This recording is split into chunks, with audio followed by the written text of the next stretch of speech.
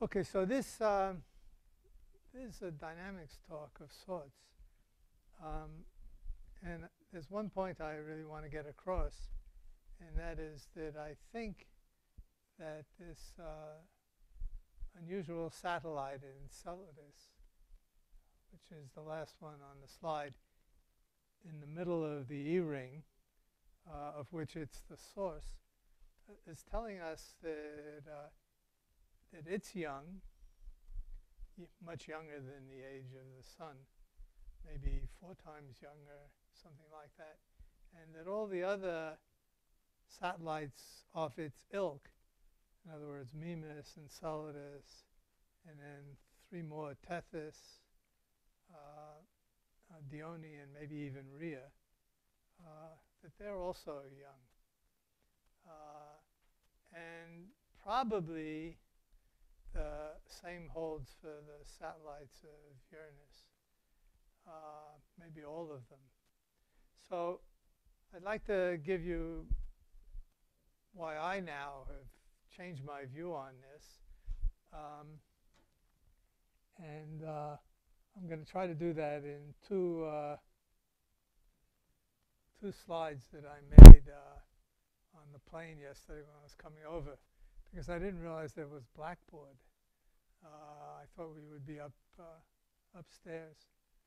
Um, and, uh, and then I'll show you uh, another piece of evidence which I never believed, uh, but which now I've changed my mind about, which also suggests that these bodies have come from much closer to Saturn over really fairly recent in geologic uh, time.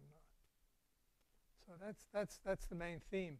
But along the way, I'll tell you a little bit about dynamics uh, because at least that I'm pretty sure is correct and it's applicable to uh, extrasolar planets.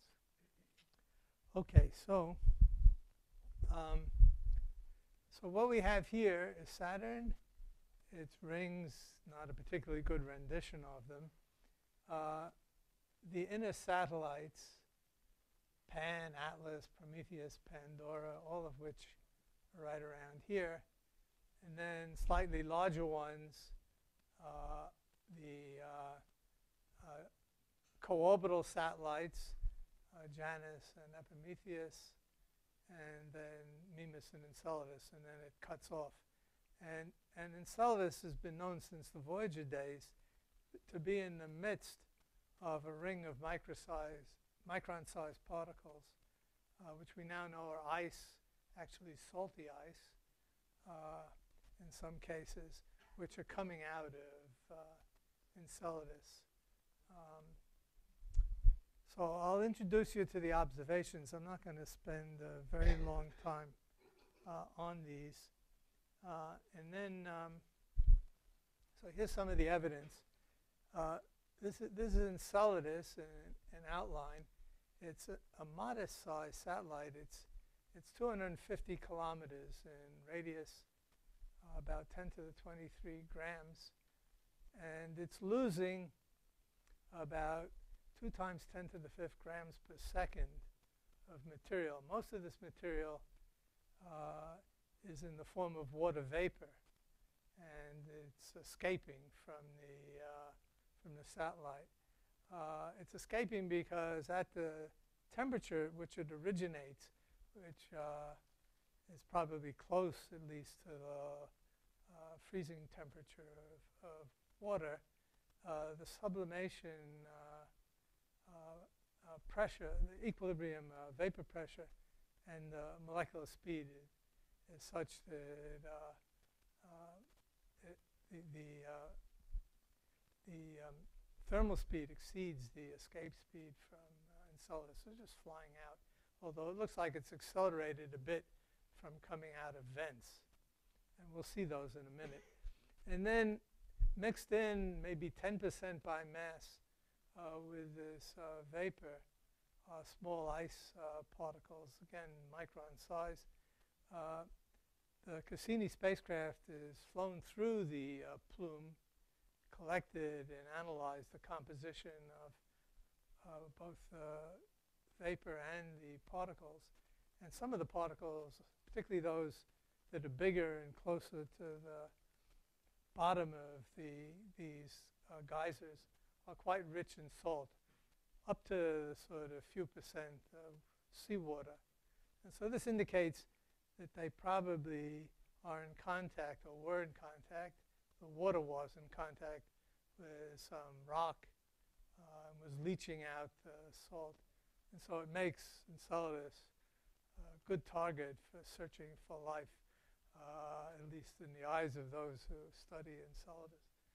Uh, I think it's a little silly right now, but, uh, but anyway, you could fly through it, which is a lot easier than uh, sampling than you can do on any of the other bodies that seem to have water other than Mars. Okay, so that's um, that's that. And then, and then this is another view. Of course, what you're seeing is the particles backlit. So you're seeing the diffraction peak uh, scattering of the particles, which is one of the ways you can really sample the size of the particles from the width of the diffraction peak. And so you're always seeing these on the limb. Uh, um. Okay, now if you look, uh, if you look at the uh, surface of Enceladus, this was already recognized in the Voyager days. There are these four big cracks near the South Pole. They're really right at the South Pole. The South Pole's right in the middle. Um, they're uh, sort of half, uh, well, uh, somewhat more than half a radius uh, in length, so they're radian uh, or more uh, in length. They're very narrow, and the highest uh, resolution images, the cracks are no more than a few meters wide. So this, oh, 30 kilometers or so. Yeah, and that's an, a clue to how deep they probably are. Things that crack that are over water, ice that cracks over water is probably uh, here along the cracks, but not not uniformly, uh, either in time or uh, in position. Um, yeah, so this was, was already recognized. A very beautiful paper. Um, uh, by Steve Squyres and others uh, after the Voyager flybys of Saturn, saying that that this is probably this satellite is probably the source of the E-ring particles. That probably stuff has come out of it fairly recently.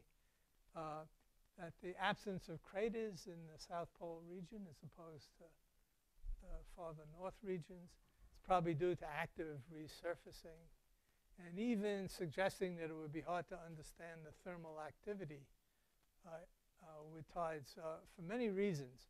One of which is that this body uh, is uh, um, has very low orbital eccentricity, only 0.0047, and another body, the one that I showed on the first slide, Mimas, which is closer to Saturn.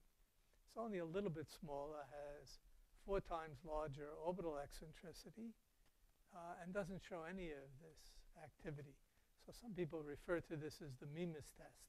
Any explanation for the thermal activity of Enceladus in terms of tides uh, has to explain why you don't see this uh, uh for Mimas.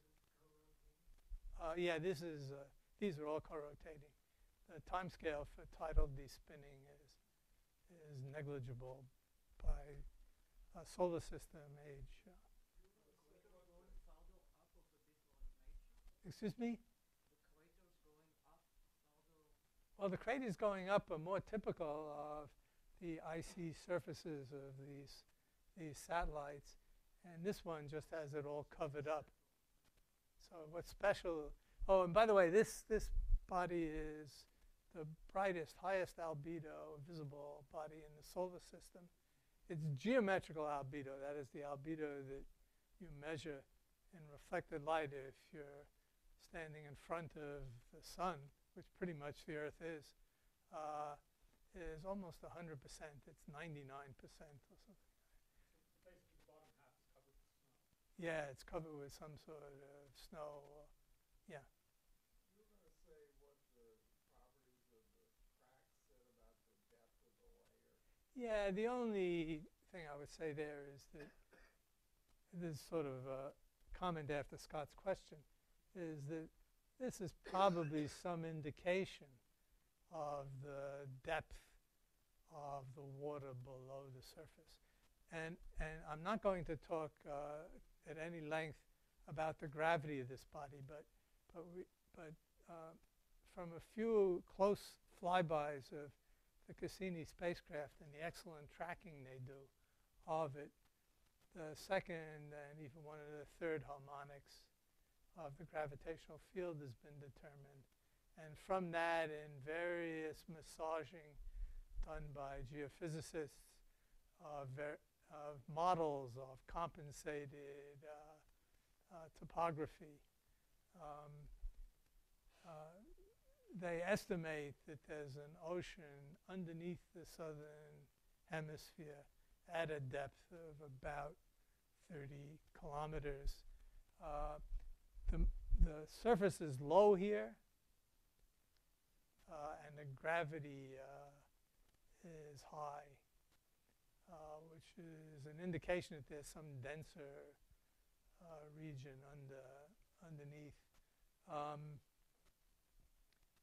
it's a very crude uh, estimate, though. Okay. Okay, so those stripes are called the tiger stripes. And uh, they glow, as you can see in this next uh, uh, slide. So there's also a thermal imaging spectrometer on, on uh, Cassini. And it found very, very shortly after looked at Enceladus that the temperature along these cracks uh, there's the South Pole right in the middle of the bullseye, uh, is much higher than elsewhere. The, the sort of typical temperature on the surface, of course, depending on season, uh, is of order 70 degrees or so. But in these cracks, temperature probably goes up at the surface to something like 200 uh, uh, degrees.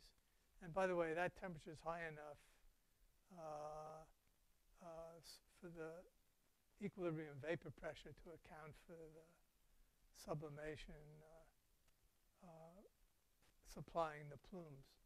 So, so something heat is getting up very close to the surface.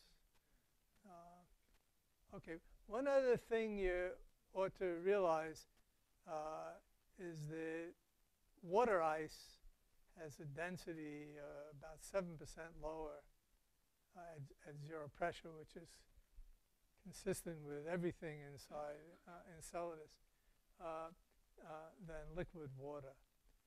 Uh, so, so if there is water and it's not under pressure, it wouldn't rise to the surface. It would rise 7% below the thickness of this ice. So it would be kilometers.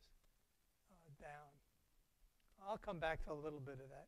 Okay, now, uh, everybody pretty much nowadays thinks that the thermal activity is due to tides that Saturn raises in Enceladus uh, and which vary in time because Enceladus is moving on this very slightly eccentric orbit, eccentricity about 5, 10 to the minus 3. Um, so that, that, that's that's believed. But just in case you don't believe it, and there were pe some people who didn't initially, uh, there's this beautiful demonstration that the plume activity uh, peaks near the apoapse, near the farthest distance uh, that Enceladus gets uh, uh, from Saturn. Uh, and this is some corrected uh, uh, measure of the plume activity. This is the orbital phase. This is periaps. Uh, and you see that there's a rise. This is work uh, that was led by Matt Hedman who, who was at Cornell, but now I think is in Idaho. Although why he couldn't get a better job than that beats me. He, he was for a while in Princeton, I believe. He, grad student, maybe. Yeah, he was an undergrad at Caltech. And he's, he's the best person I've met in analyzing this data, and for some reason, uh, he didn't get it's just it's just it's just uh, this little f here. If you if you had studied celestial mechanics, you would know this little f is the true anomaly, and the true anomaly is zero at periaps.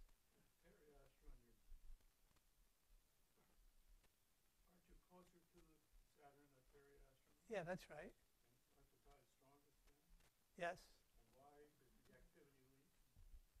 Ah, well, that's a good question. uh, there is an answer to that question, uh, a partial answer, and that is that if you neglected the cracks and you thought that you had a thin shell over a global ocean, then the cracks would be under tension at apoaps and compression at periaps.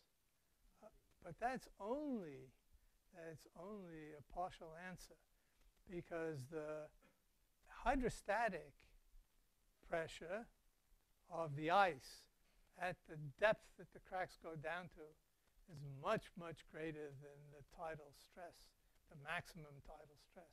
So how the tidal stress, I'll, I'll explain that, I think, how the tidal stress manages to pull things apart when the stress is much smaller than the hydrostatic pressure is an interesting one.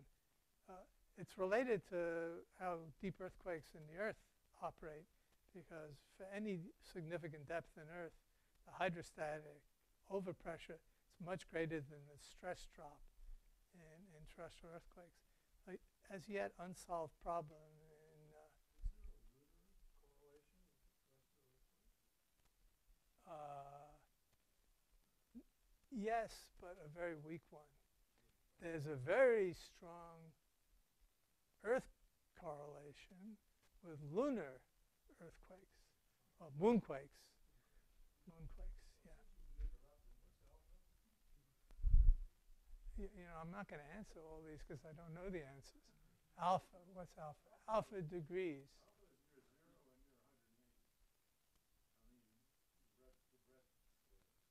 Uh, I never read that part of it. I don't know. Uh, this this may have something to do with. Uh, I'm not sure. Uh, it may have something to do with which orbits. I, I, I don't know.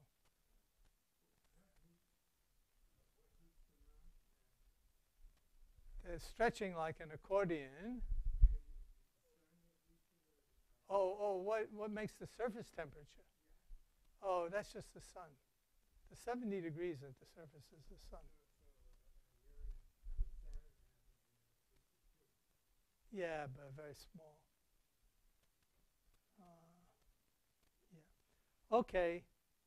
So, so now, now, now we're going to do dynamics. I don't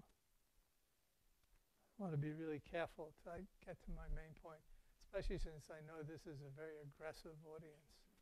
Uh, but since I was here, and I know how to handle aggressive postdocs. Although Scott told me there's a postdoc here that's even more aggressive than Boaz. Uh, so I've been gearing up.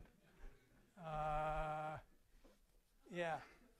Uh, anyway, um, so I want to say a, a, a, word about the dynamics. Uh, not much, because it's a whole subject in itself, but the, the, there's a resonant argument, a single argument which is important in this resonance. This is a two to one resonance. The orbital period of Enceladus is about half that of the satellite Dione with which it's in resonance. And the argument, the important argument, is this one up on top, uh, phi, 2 lambda prime minus lambda minus omega. Lambda prime is the mean longitude relative to some inertial uh, axis of uh, Dione in its orbit. Lambda is the mean longitude of Enceladus in its orbit. And Pomega there is the longitude measured from the same inertial line of the, uh, of the periaps of, uh, of Enceladus.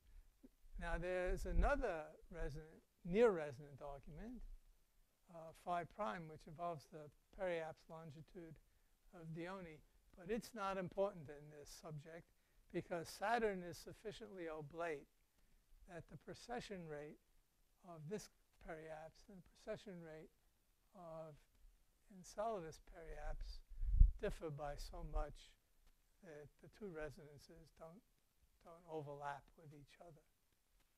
Okay, and then the rate of change of this resonant argument, if there were no resonance involved, would be just given by twice the mean motion, the mean orbital angular velocity, 2 pi over the period of Dione minus that of Enceladus, minus the precession rate due to the oblateness of Saturn and the uh, other satellites, but not the resonant term uh, of, of uh, Enceladus. Now, the simplest uh, consequence of these resonances is that you have a set of nested periodic eccentric orbits for the perturbed body. In this case, Enceladus. Enceladus is about 10 times less massive than Dione, and uh, it's the one that's getting a perturbation in its orbit. And these eccentricities increase with uh, proximity uh, to the resonance. So when 2n prime minus n uh, gets near zero, the eccentricity is bigger. There's a little bit of poetic license in these equations, but not much. Uh, just enough so that uh, uh, they don't look uh, ugly. Okay. So we have one resonant argument, and that's going to turn out to be of some significance.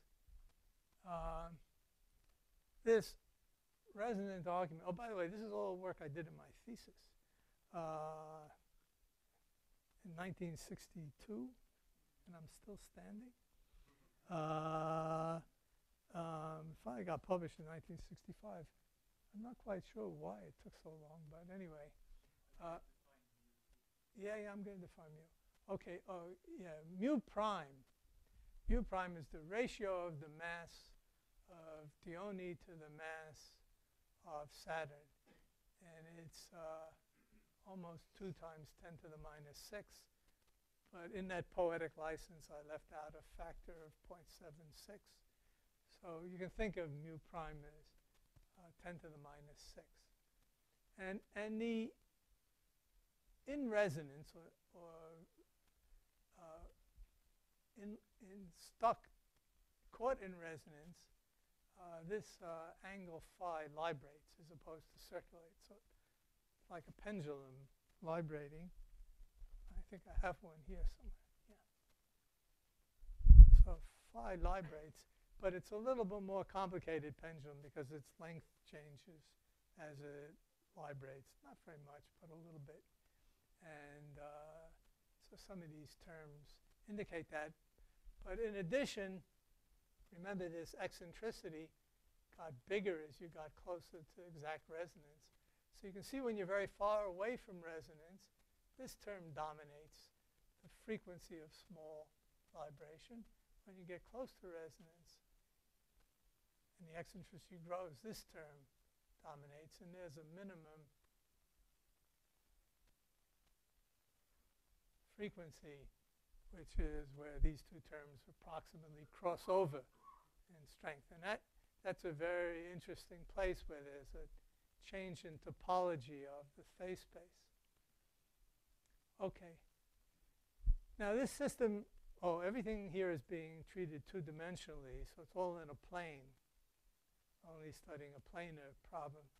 Uh, and in a in an interaction between a satellite on a circular orbit which is the way Dione is being treated, and one on any other orbit, which is the way Enceladus is uh, being approximated, there's only one constant of the motion, which is the Jacobi constant.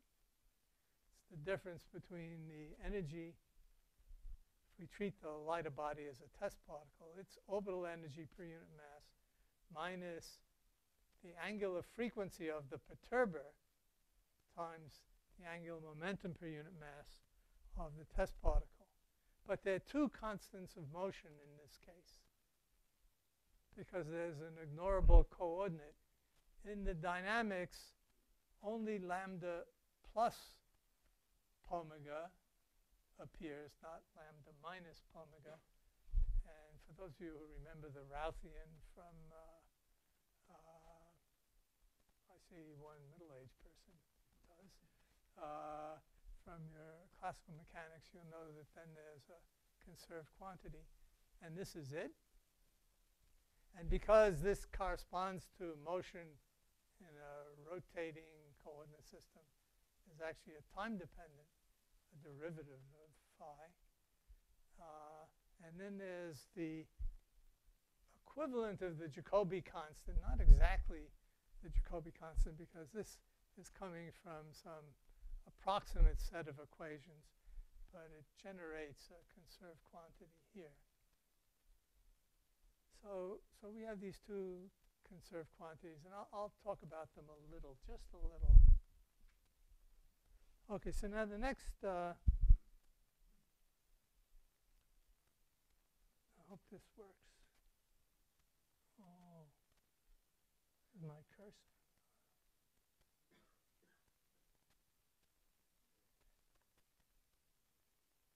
Okay, so this just shows the dynamics. A black uh, curve is a circle. This is Enceladus. This is Dione. And this just shows what happens in a 2 to 1 resonance. I made this, this is my first computer presentation. When I came here, I was asked to give a talk, and I, I made this. It was much harder than, than it is now. And everything here is active, including the line between Saturn and the periapse of the orbit. And you'll see this thing is trying to regress, but very, very slowly under the resonant uh, dynamics. Sort of looks like it's about to break. And so after Enceladus has gone around twice, catches up with Dione. And these conjunctions occur always at the same place in inertial space. And that's what makes these resonances uh, so strong. So that's what the being at the very um, exact resonance uh, um, looks like, but you can perturb around it. And I'm going to just show you another picture also made from that same long time ago.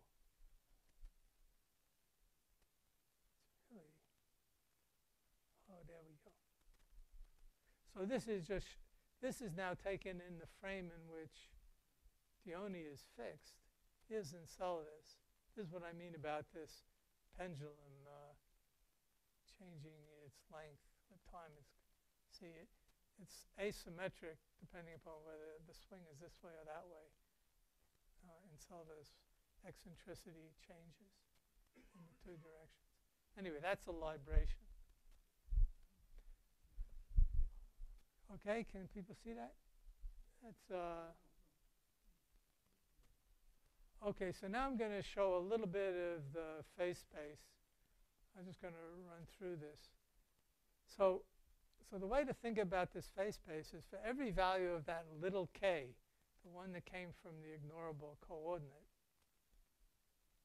you have a whole bunch of level curves or uh, constant Hamiltonian curves. H is really a Hamiltonian of a system in which the canonical momenta and coordinates are the eccentricity squared and phi. You have all these level curves. And here are some of the level curves for a particular value of k, which is less than some critical value, k crit. And k crit is, is 2 times the uh, cube root of mu prime over 3. Uh, it's about 10 to the minus, uh, 2 uh, because mu prime is 10 to minus 6. Uh, and this is where the topology is very, very simple. There's only one maximum in the Hamiltonian. All perturbations away from this maximum energy correspond to stable librations like this are bounded, and that's all there is. If you take a cross section at that value of k through this contour diagram up, then you get a hill that just keeps increasing. But there's a change in curvature here, flexion point here. Green point is up there. Okay, so uh, so this is somewhat farther from resonance. Uh, uh, this is actually where Enceladus is, is now. It's a value of k like this, where the only thing you can do is make small librations around the maximum, or big librations, but um, and it's making very small ones. Uh, this angle phi is only changing by a degree or so, less than a degree. Okay, but if we Enceladus? No. It's not a rigid body, but it's almost a rigid body. Yeah, it's about as rigid as we are, you know. It's not. You're still pretty rigid for your age, you know. Enceladus is older, but all right. Okay, so if you go to a larger value of k, to k bigger than this critical value, at which this topology changes, then your level curves, the Hamiltonian, change. You have two stable equilibria. One's a maxima. That's this one. The other one is a minimum here. And then there's a saddle point over here. And now the behavior can be more interesting. You can have a libration around the maximum. You can have a libration around the minimum. You can think of these as being like circulations of the atmosphere on the rotating Earth or rotating planet about a pressure maximum perfectly okay, pressure high, or circulations around the pressure minimum, which go in the opposite directions. Okay, now it turns out, th th th this takes a while to get used to. It turns out that this minimum, which is always to the left of this line, corresponds to have passage through the resonance, escape through a resonance. And it also turns out that once we put in the effects of tides, which break the Hamiltonian nature of the dynamics, these pressure maxima are overstable. So if you start with a body at the pressure maximum, its amplitude increases, increases, and libration gets into bigger and bigger libration curves. Eventually gets onto the separatrix here, which separates these two regions, penetrates into this inner boundary of the separatrix, spirals around, ends up there. And, and this, uh, this, I think, was first really understood by Hilke Schlichting, who's an assistant professor at MIT, and me uh, a year and a half ago. And, and this we propose is the reason why so few exoplanets are found in mean motion resonances. Uh, we thought this was pretty clever, uh, but the community doesn't seem to have understood it. Uh, but it's their loss, in my opinion, not ours, although Hilke seems to be quite uh, upset by it. Uh, but in the end, you know, science always gets it right. Uh, so you just have to wait, and she's young. Okay, so so this is just a little bit of dynamics, and it's a, a warning that what I'm going to say about Enceladus requires that it avoid this fate of getting stuck around this uh, maximum when k is bigger than k crit, because I'm going to say it does get much bigger than k crit, and therefore just escaping through the resonance.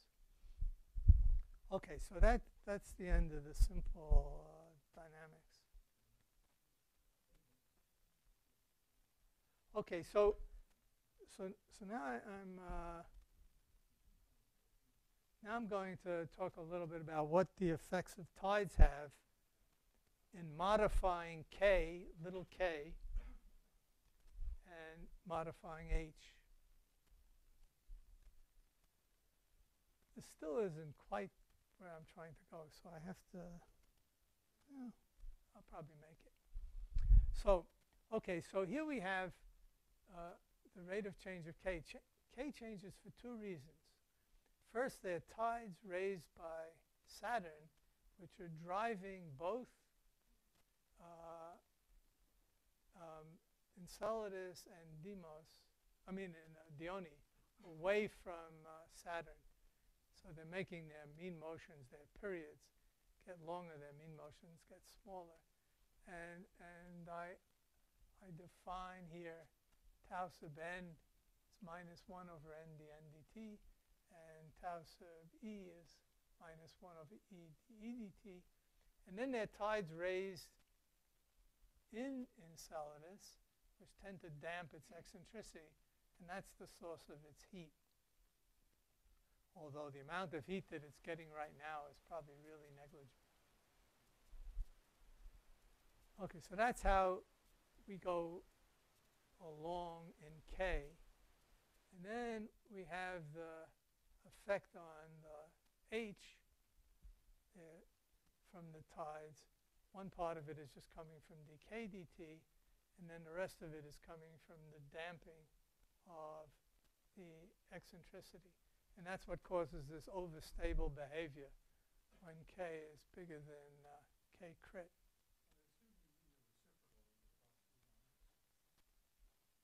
Oh my goodness. Yes. That's very good, You're more awake than I was on the airplane, or maybe uh, it's easier to see this was to see my laptop with the person in front of me in my lap. Uh, yeah, I should have invested in uh, a economy plus seat. I found other little mistakes, but I didn't notice that one. Okay. Okay, so uh, uh, this I already told you. There's an equilibrium if phi equals 0. Um, but I haven't told you about this E eq. Uh, so this is something I actually missed in my thesis. I had two uh, uh, papers on tides, one in which I described the uh, resonance, what, why there were so many resonances in the satellite systems, and the other one in which I described how eccentricity uh, would be damped faster than uh, um, semi-major axis would increase uh, uh, in, in, the uh, satellite system so that this might account for why the orbits were so round. Although I don't really believe that's the reason anymore. I think it's more just formation. But, um, but I missed the fact that as k increased, the eccentricity grew, the eccentricity damping would become, uh, produce more heat. And ultimately, this would cause the semi-major axis to decrease at the same rate that the uh, that the tides raised uh, in Saturn by the satellite would cause the semi-major axis uh, to increase, and there would be an equilibrium and an equilibrium eccentricity. And to my knowledge, the first people who understood this uh, were Doug Lin, who's sitting over there, may have forgotten that he uh, did this, uh, with uh, John. Uh, they then went on to say they didn't believe my tidal hypothesis, which was wrong. But, uh, I mean, it was their uh, mistake. But but um, but they certainly got this. It may have. This was the same year that uh, uh, Io's volcanoes were explained uh, uh, by Peale, Cassen, and Reynolds, and it may be they understood it too. Although I, I, I never saw that clearly in, in their work. Okay, I already talked about this separatrix and change in topology, but now I want to tell you, uh, show you the sort of more full description of what's going on here. If we look at the rate of change, oh, here I got them up in the right sense. If we look at 1 over n prime d n prime dt minus 1 over n dn dt, which is the rate, if you want to think of it as convergence towards resonance, any resonance, uh, uh, far away from uh, resonance where these eccentricities are small compared to both E eq and E crit. This is just 1 over tau n minus 1 over tau n prime. But when you put in the resonant effects, which aren't included in the definition of these tau n's and tau n primes, there are two corrections. First, you can get to a maximum eccentricity, which is E eq, and then you stop. And this is E eq. Or with a small amount of poetic license, it's E eq. Uh, or you can get farther if E eq is very large. You can get past E crit, but the going gets slower and slower.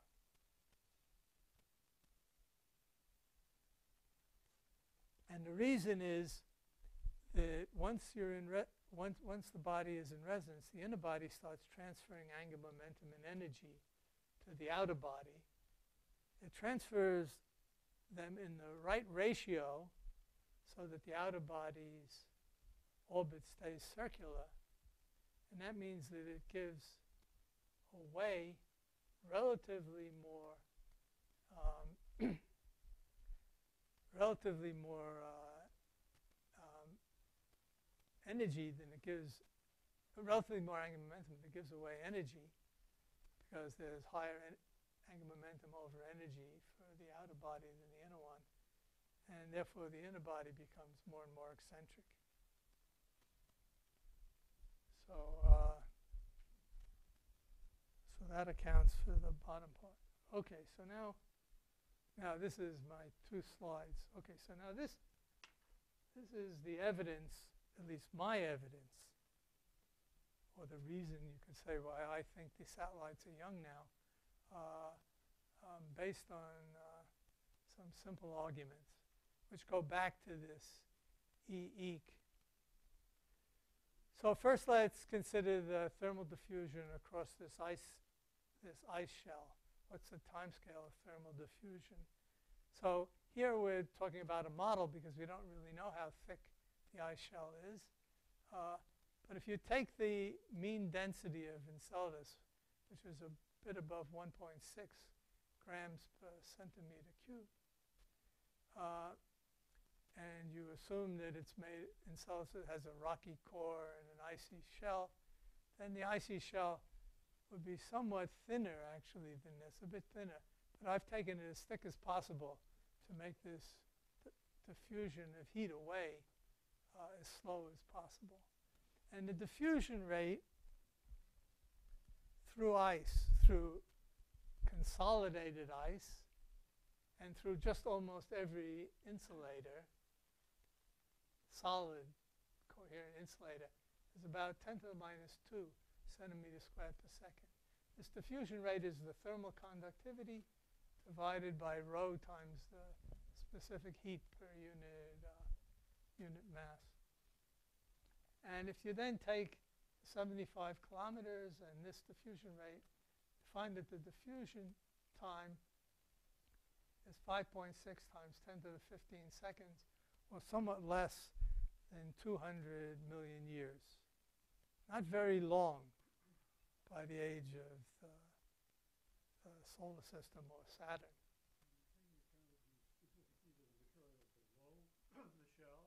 Doesn't matter. Yeah, yeah, but but I'm going to tell you that all the heat's put in in the shell. Okay, okay. So this is uh, this is the diffusion time. Now, to melt, you have to raise the temperature to melting temperature of ice, which is 273 degrees, and the surface is on mean about 70 degrees, 73 degrees maybe, so about 200 degrees. And so that requires a heat input when you look up the specific heat of, of rock, uh, metal mixture, chondritic material, and ice of about 1.8 times 10 to the 32 ergs. And it has to be put in fast enough so it doesn't leak out. So in less than 200 million years. And, and actually, uh, for those of you that remember a little bit of your condensed matter, you'll know that this product, rho times the specific heat per unit mass, is much more constant from one type of insulator to another uh, than CP itself because it depends upon the number of nuclei. It's 3 kT per nucleus for the thermal energy. You have to worry a little bit about the Debye uh, temperature if the material is really cold.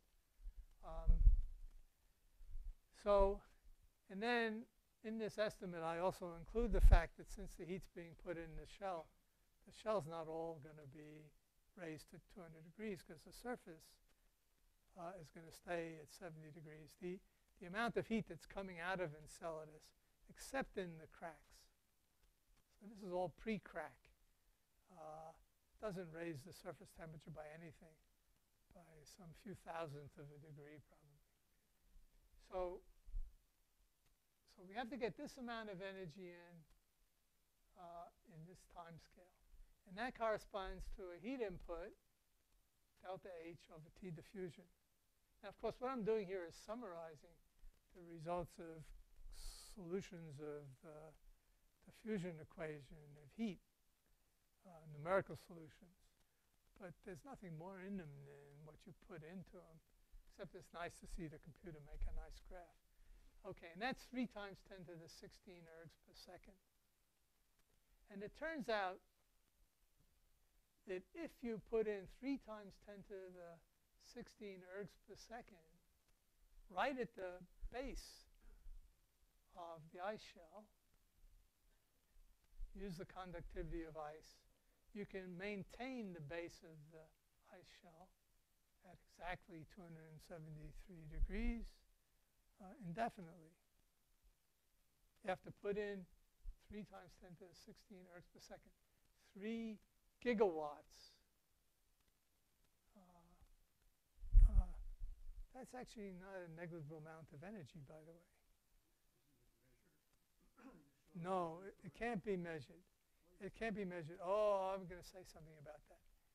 Uh, what's coming out, of course, there's a big incentive to make a lowball estimate of what's coming out because nobody wants to think that this is uh, inexplicable. Uh, measurements have ranged between 5 gigawatts and 17 gigawatts coming out. That's coming out the cracks. It's coming out now. It's not coming out through general conductivity. It's coming out because warm water is coming up the cracks. I'm talking about the situation before there are any cracks, just trying to heat the system up. Uh, so I'm doing something that really is meant to be averaged over a much longer time than the time we've observed in Enceladus. Uh, but yes, what's coming out is, is more than this now. How much more? I can't do the conversion in my head. Oh, this is three, three gigawatts. So what's coming out is between 5 and 15, depending on 17. Yeah, well, that was my view too.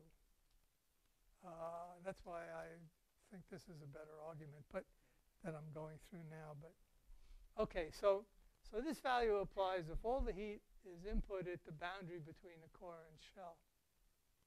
This you can all work out analytically. It just takes a couple minutes. Okay, but but we calculate, and by we now I mean me and my uh, current student uh, uh, Jing Luan. We calculate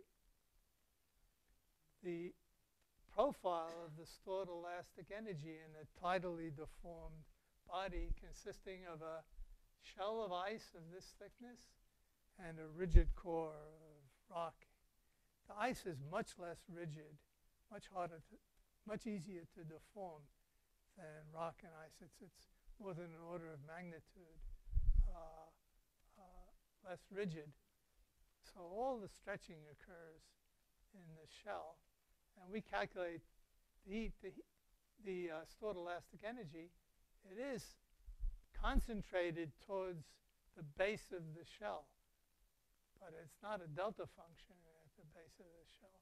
And if you use that profile, you find that you have to, just to maintain steady state, uh, temperature of uh, 273 degrees, you have to add about 5.5 gigawatts uh, of energy to melt. Okay, so now, I'm going to show you that this really causes a problem with the age of Enceladus. This is the last. Okay, so now one more equation. We can calculate the power that's dissipated in Enceladus when it has an eccentricity, an orbital eccentricity E. And that's equal to the, if you want to think of it that way, it's epicyclic energy, energy associated with the deviation of its orbit from being circular. So this is twice the orbital energy if E were 1, and then this accounts for the eccentricity divided by this parameter tau E. And the maximum we can make this E, or E squared, is if we push as close to the resonance as we can get, where E rises to this equilibrium value. This is the value I wrote down before, a couple of slides back. And if we put this into that, the tau e's cancel out, which is a good thing because we don't really know what tau e is. So then we get the maximum power to be this.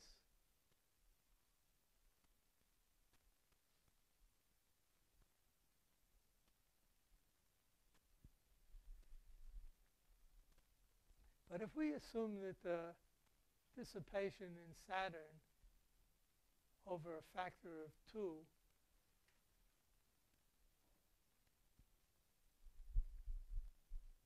doesn't vary very much, the tidal dissipation, then we can relate tau n prime to tau n. And tau n prime then would be 2 tau n.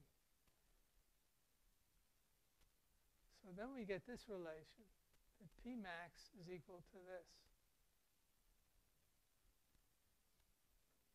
And then since we know that P max has to be greater than this value, we can solve for tau n.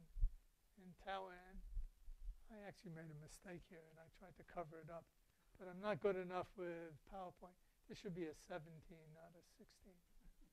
So tau n then has to be less than 8.7 gigayears. And you may say, oh, well, this is not a very good argument because the solar system is only 4.6 gigayears old.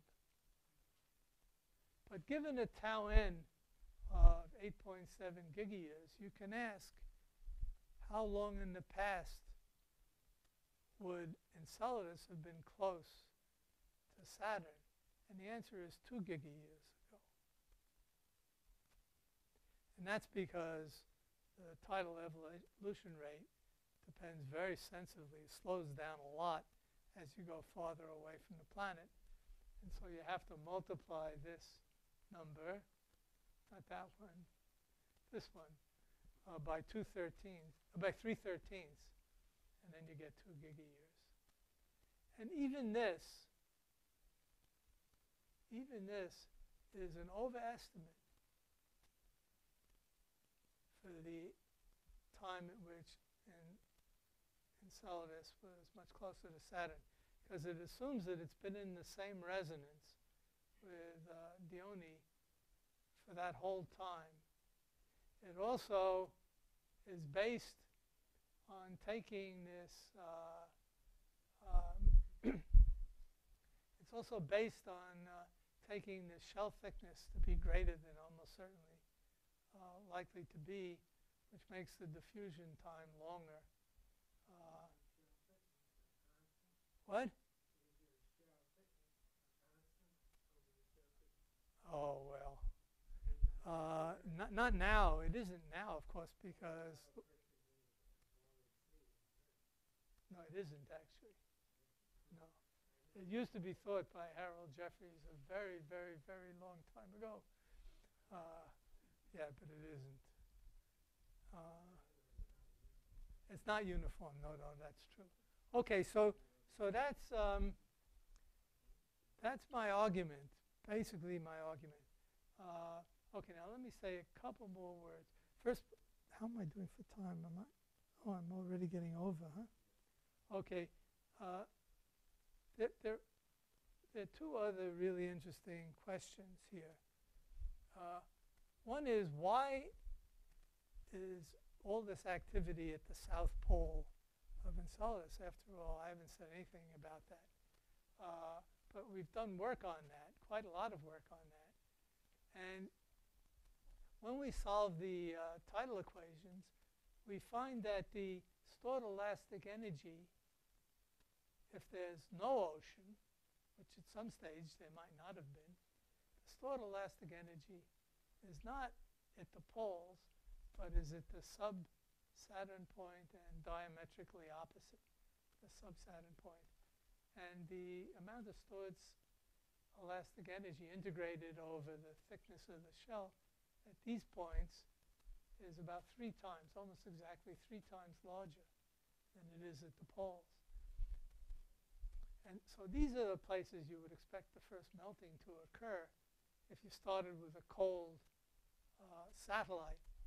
But once you have a thin ocean, if you have a thin global ocean, then the boundary condition at the core changes from being one in which there's no motion to being one in which there's no radial motion but free horizontal motion.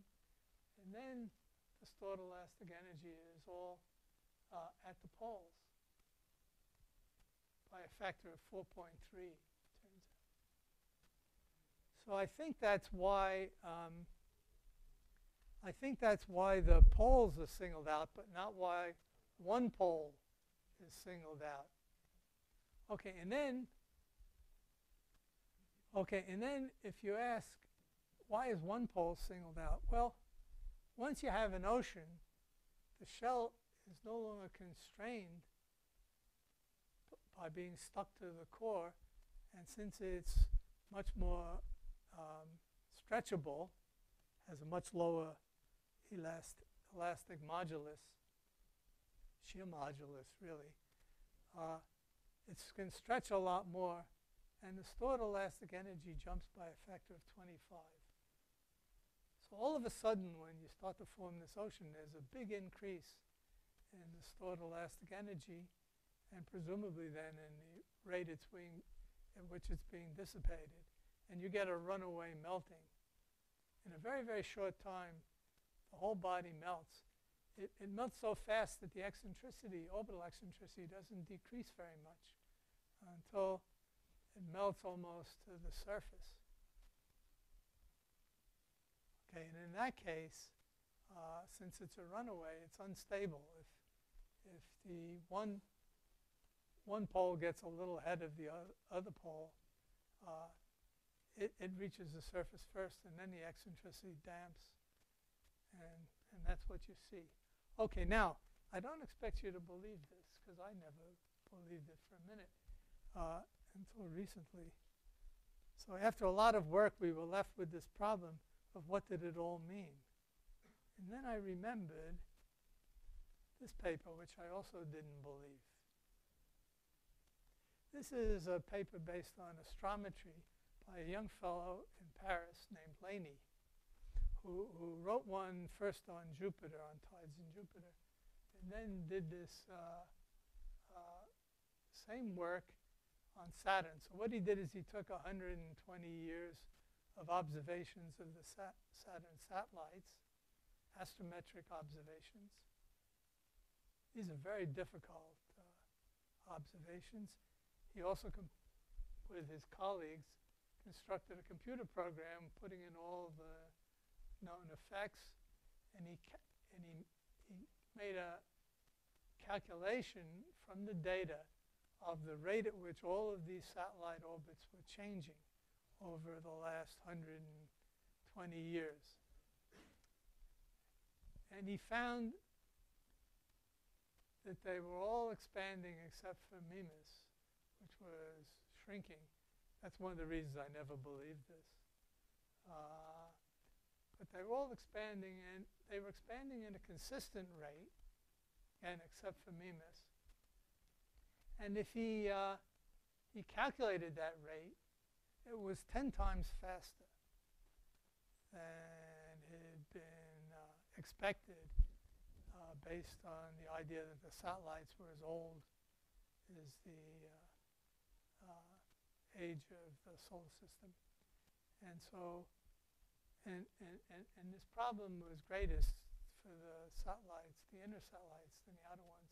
So the, he, he got a K2 over Q here, which is the measure of the tidal expansion rates due to Saturn, uh, which was about 10 times higher than the value estimated from theoretical arguments, which go back to me really, uh, to my thesis again, where I said, oh, this, I said that you could only understand the resonances uh, if two things were possible. First, the expansion rates were no faster than a certain amount, uh, because otherwise the satellites would have been farther from the planet than you saw, saw them or found them, assuming that they were as old as the solar system.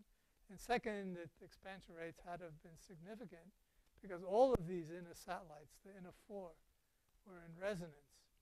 And so they had to have moved in order to have found resonances to enter into.